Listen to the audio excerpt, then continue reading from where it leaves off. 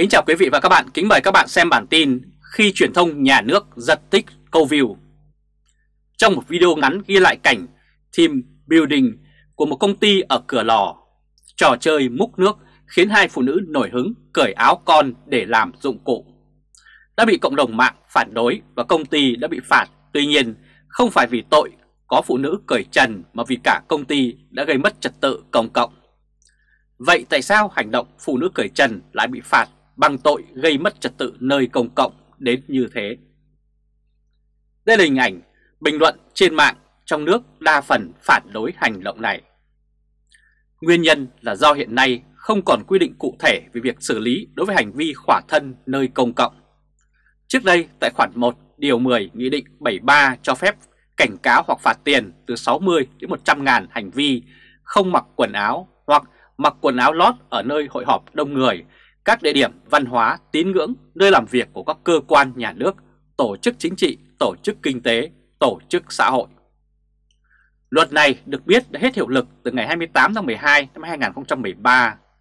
Nếu còn hiệu lực, luật này có thể cho phép xử lý trường hợp như nhiều đàn ông cởi trần đi xe trên đường phố hay các chiêu quảng cáo dùng đàn ông cởi trần hay phụ nữ mặc áo tắm ở nơi công cộng.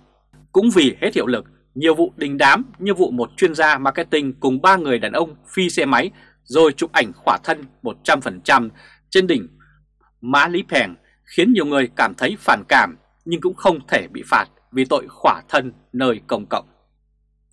Vậy giả sử luật này còn hiệu lực thì có thể dùng để phạt vụ hai phụ nữ cởi áo lót ở cửa lò hay không? Câu trả lời là có thể không, vì theo luật này bãi biển là ngoại lệ. Bãi biển là nơi công cộng nhưng người đi biển được phép mặc quần áo lót, quần áo bơi vân vân. Nếu họ khỏa thân, họ chỉ bị cộng đồng xung quanh khó chịu chứ dùng luật là rất khó. Điều này cũng còn vì luật không thể phân biệt được giới tính. Nhiều người có thể tranh biện rằng về mặt văn hóa thì không ổn nhưng về mặt pháp lý nếu đàn ông cởi trần tắm biển được thì tại sao phụ nữ lại không được? Đây là hình ảnh đàn ông để ngược tắm trần ở biển. Tuy nhiên, nếu một số sự việc bị chửi mà không bị xử lý thì lại không ra sao. Chính vì thế, cơ quan chức năng đã dùng hình phạt pháp lý A, tức là gây rối nơi công cộng, để xử lý tội văn hóa B, tức là cởi trần trên bãi biển. Nghe thì rất vô lý, nhưng đây là một cách có thể để xử lý khoảng cách giữa vi phạm văn hóa và vi phạm pháp luật. Khoảng cách giữa văn hóa và pháp luật này đã khiến dư luận dậy sóng trong thời gian vừa qua. Việc dùng luật A để xử lý hình thức B như vậy là còn để xoa dịu dư luận. Cũng nhiều tờ báo và trang mạng đăng bài như thể hiện đưa ra thông điệp rằng phụ nữ cởi trần trên bãi biển sẽ bị xử phạt hành chính. Vấn đề là cách xoa dịu dư luận này có dẫn đến những hậu quả không mong muốn hay không. Thứ nhất, điều này có thể bị các tổ chức quan sát nhân quyền và quyền bình đẳng hiểu nhầm rằng luật pháp Việt Nam phân biệt giới tính. Nó cũng khiến cho người dân tự đặt câu hỏi và phán xét tính công minh của pháp luật hiện nay của nhà nước Việt Nam. Thứ hai, điều này không giải quyết cái gốc của vấn đề là một lỗ hổng của chế tài pháp luật cần được giải quyết. Đã có nhiều trường hợp khỏa thân hoặc có những hành vi quá riêng tư nơi công cộng khiến mọi người bức xúc nhưng cơ quan chức năng lúng túng vì không có cơ chế để xử lý.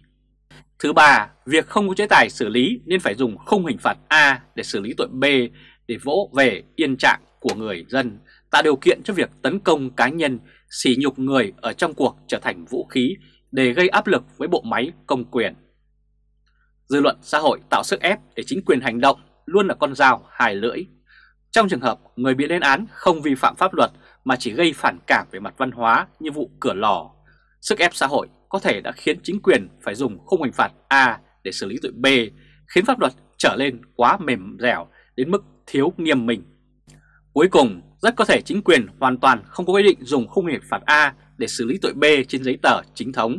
Sự biến tướng và hiểu lầm này đã bị báo chí và các trang mạng hóng tạo sóng cộng đồng trên mạng.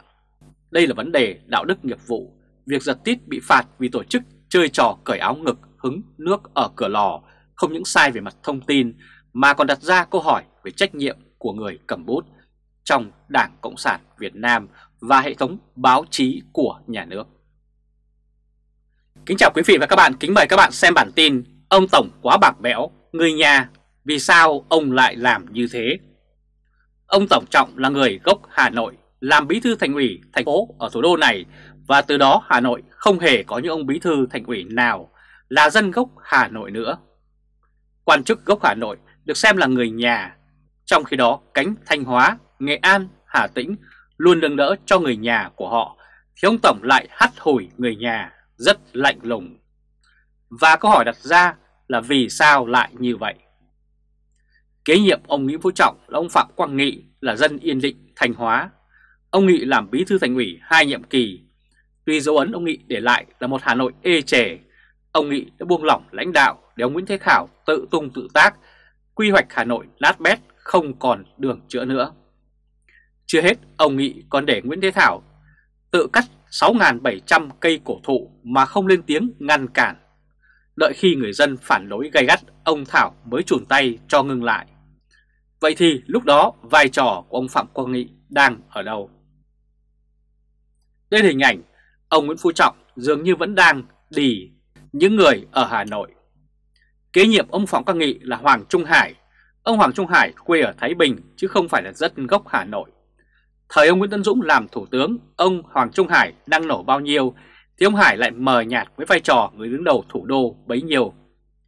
Tội của ông Hoàng Trung Hải rất lớn, hàng loạt dự án thua lỗ dưới thời ông Nguyễn Tân Dũng làm thủ tướng không được ông Tổng khui ra, mà còn để ông này về nắm thủ đô. Cấp dưới của ông Hoàng Trung Hải là Nguyễn Đức Trung thì sai phạm trăm bề, bị bắt giam. Bởi ông Hải đã dính chảm phốt nên không có ý kiến gì trong việc làm sai trái của ông Nguyễn Đức Trung cả. Thủ đô vì thế mà ngày một thêm nát bét. Ông Hoàng Trung Hải là người cần phải bị trừng trị nhất thì ông Tổng cũng lại phớt lờ. Việc làm ngơ để ông này leo lên chiếc ghế cao nhất của thủ đô là điều khó có thể chấp nhận cho được. Tiếp theo, ông Hoàng Trung Hải là ông Vương Đình Huệ. Ông Huệ là dân Nghệ An. Ông Huệ nắm bí thư thành ủy thủ đô chưa bao lâu thì ông vào tứ trụ.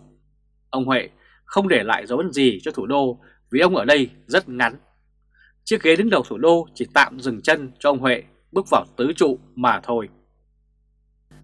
Đây là hình ảnh để một ông ngoại tỉnh đầy vết đen như Hoàng Trung Hải nắm thành phố Hà Nội không thuyết phục. Kế nhiệm ông Vương Đình Huệ là ông Đinh Tiến Dũng. Ông Dũng cũng tương tự như Hoàng Trung Hải, cũng dính rất nhiều vấn đề trước khi nắm ghế bí thư thành ủy thành phố Hà Nội.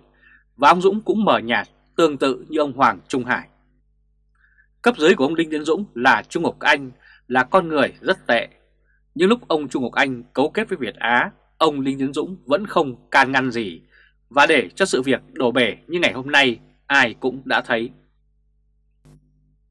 Tất cả các đời bí thư và chủ tịch thành phố Hà Nội đều là người tỉnh lẻ chám vào, ngoại trừ ông Trung Ngọc Anh là dân Hà Nội. Nhưng về phẩm chất đạo đức thì ông Chu lại quá tệ, không xứng đáng cho ghế chủ tịch Ủy ban nhân dân của thành phố đông dân này. Theo như thời báo chấm được biết, thì ông bí thư thành ủy tiếp theo cũng sẽ là người không phải từ Hà Nội. Đã đến lúc người Hà Nội cần phải đặt câu hỏi tại sao ông Tổng để những con người ngoại tỉnh vào nắm thóc của thủ đô như thế. Trong tay ông đang có quyền sinh, quyền sát, mà ông lại bạc đãi với người nhà của mình như vậy, có vẻ là quá bất công. Không biết quan chức nhà nước gốc thủ đô đang làm việc trong bộ máy chính quyền ở thành phố Hà Nội có thấy đây là sự bất công hay không. Đây là hình ảnh Hà Nội thiếu người hay sao mà ông Tổng lại chọn Chu Ngọc Anh. Có người cho rằng ông Tổng muốn chọn người có đức, có tài cho các vị trí lãnh đạo của thành phố, chứ ông không quan trọng đấy là địa phương nào. Tuy nhiên cũng có ý kiến phản biện lại là nhưng người ngoại tỉnh mà ông Tổng để họ lên nắm thành phố, thủ đô toàn là những nhân vật dính đầy sai phạm, chứ có ai trong sạch đâu.